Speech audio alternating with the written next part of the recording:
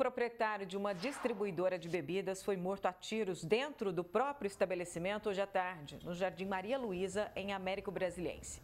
Segundo a polícia, o homem estava sozinho no local quando foi surpreendido pelo atirador. O autor do crime fugiu e até o momento ninguém foi preso. O estabelecimento já havia sido alvo de outro homicídio no último dia 6 de maio, mas, segundo o delegado, não é possível afirmar se existem relações entre os casos. Sobre o homicídio anterior, nós temos já uma pessoa presa. Né? E agora, se tem relação, a gente vai apurar nas investigações. Não vou descartar que tenha ou que não tenha.